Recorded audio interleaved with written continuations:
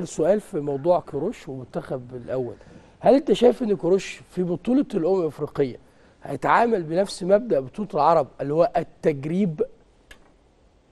لا آه هو في بطولة كاس الاثنين كانوا. خد بالك في كأس العرب كانوا ماشيين مع بعض. ماشي. بيدي وجوه جديدة و آه بيلعب على الكاس. اوعى تخيل انه مثلا كان كرو... لا لا لا كل ماتش كان بياخده كان مركز فيه قوي قوي ان هو عايز يوصل للكاس. الكاس كان هدف بالنسبة له أساسي مع ده.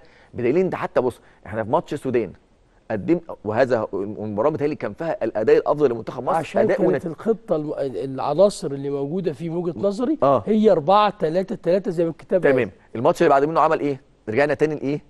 لجزء كبير من التشكيل اللي هو لعبه عمره بدا عمره ما بدأ مباراة زي التشكيل آه اللي ده قبله. اللي هو ما كانش احمد يعني أحمد ما بدأش غير ماتش لسه في الماتش ما أنا بقول إيه لا هو هو كان مركز دايما أي مدرب عموما يعني بيبقى عنده تشكيل أساسي. وعناصر بدلاء بيحركهم في ده. هو كان ده ده اللي عمله ده اللي عمله كروش. كروش في بطولة أفريقيا لا هيبقى ريح لا وأنت معاك محمد خد بالك كمان وجود محمد صلاح في هذه البطولة هيبقى دافع قوي قوي قوي للمنافسة على كأس الأمم. يعني محمد صلاح عارف كويس قوي قوي انه ترشحه في البلا... آه، في كاس الكرة الذهبية فرانس فوتبول وترشحه في احسن لعيب هيقولوا في الآخر انت ما خدت إيه كانش عارف في 2019 كده؟ آه، آه، دي وخ- وعشان كده لا اتخيل انه انه انه هيبقى بالنسبة له اهم دلوقتي. عارف اهميتها النهارده النهارده وهو موجود. ميسي وكريستيانو بيبعدوا من الصورة شوية فممكن هو فبالظبط انت عندك مجموعة من اللعيبة ظاهرة جديد فهيبدأوا يقيموا. هو السنة دي قالوا إيه؟ اصله ما خدش مع منتخب بلاده. يعني كان منتخب بلاده اللي هو كان إيه؟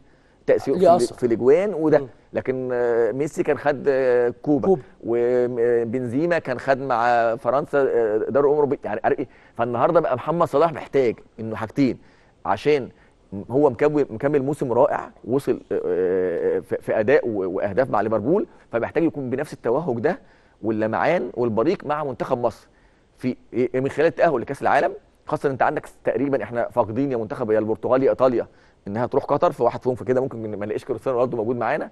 وعندنا فبطولة الامم الافريقيه محمد صلاح داخلها وعارف كويس قوي قوي إنه هتلعب دور في إنه ممكن ياخد جايزة من الجوائز دي. أكيد هو مش باصص لها ناحية فردية لكن في الآخر هو بالنسبة له إنها كمان فرحة شعب مصر بيها. تبقى فرقه كتير قوي قوي يعني أكيد معظم اللعيبة دايما بيبصوا للجوائز الفردية بيحطها في المرتبة الثانية. فعشان كده إنه كروش لا هيفكر فيها لأنها كمان هتديله power قبل ما يخش للتصفيات لأنه أنت في الآخر بتلعب ماتش ذهاب وعودة ده فممكن لا وأول ماتش ليك قصاد. نيجيريا. آه اللي هي ممكن, ممكن تكون اللي هي ممكن تكون. كان مع- تونس عارف أنت داخل في ده. فتخيل لا, لا بالعكس. وكمان ممكن لو ما تصعد هتقابل المجموعة بتاعت الجزائر وكوت ديفوار لا ما هي هي هي هي الموضوع بطولة. صعب آه، شوية. لا الموضوع هي بطولة قوية جدا في إنها هتحدد لكروش حاجات كتير قوي قوي لكن الاثنين هيكونوا ماشيين مع بعض. وده هيبان لك من ملامح طريق القايمة اللي داخل بها كروش. آه. القايمة هتفرق معاك قوي قوي إنه آه. صح أنت عندك 40 فيهم يمكن من وجوه جدا كان محمد فتح الله بتاع غزل المحلة لكن في الآخر آه الهدف احمد الأساسي- رمضان بيكهام. آه وبيك أحمد رمضان بيك. لكن في الآخر أنت داخل منافسة. وعارف إنه الناس مت... يعني إحنا إحنا رحنا بمنتخب منت... يعني المنتخب اللي إحنا رايحين بيه كأس العرب يعني أغلبه وجوه جديدة. لكن الناس منتظرة منك إيه؟